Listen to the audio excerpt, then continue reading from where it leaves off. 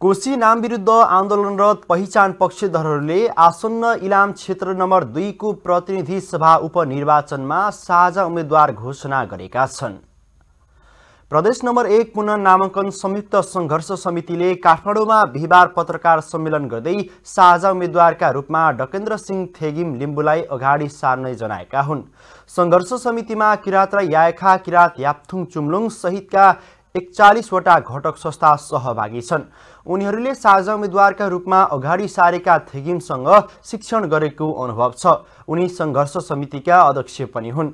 उपनिर्वाचनलाई आन्दोलनकै रूपमा उपयोग गर्ने गरी डकेन्द्र सिंह थेगिम लिम्बुलाई साझा उम्मेद्वार बनाउने निर्णय गरिएको सङ्घर्ष समितिको विज्ञप्तिमा उल्लेख गरिएको छ।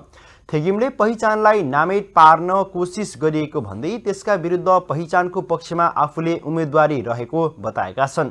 प्रदेश नम्बर एक पुनः नामाङ्कन संयुक्त सङ्घर्ष समितिले पहिचानको आन्दोलन जारी रहेको भन्दै इलाम दुईबाट गइरहेको उपनिर्वाचनलाई आफूहरूले प्रयोगका रूपमा लिएको समेत जानकारी दिएका छन्। इलाम दुईमा वैशाख पन्ध्र गते उपनिर्वाचन हुँदैछ।